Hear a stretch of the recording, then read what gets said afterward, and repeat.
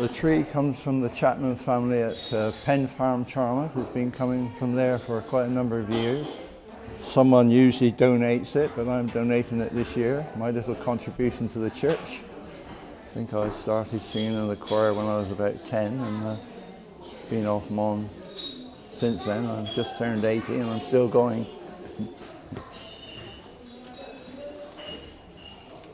It's a village uh, village thing, I think, isn't it? Everybody just does their little bit. Like this morning, we've got quite a number of helpers here, and they'll be putting the candles up, and they'll be um, decorating the tree later on.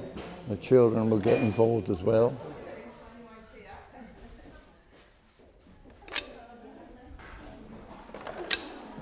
Very pleased with it, yes. Very nice tree. Yes, they usually provide us with a very nice tree. You've got to drill a hole in the bottom to fit into our stand. And then we put wood blocks around to keep it keep it upright.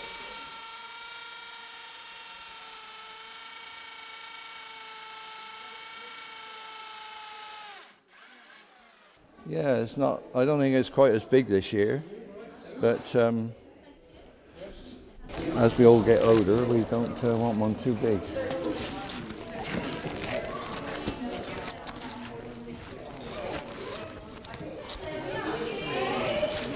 Oh.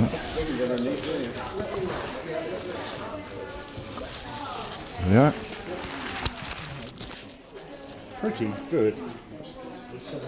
That's not too bad, is it?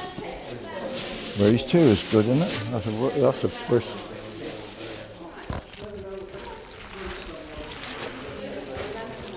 We enjoy coming. If, the, if it's nice when the weather's like it is this morning, a nice morning, we quite enjoy doing it. It's nice, nice and tall, and it's nice and straight. I think it's. Uh, I think we've we've got a very nice tree this year. Very nice indeed.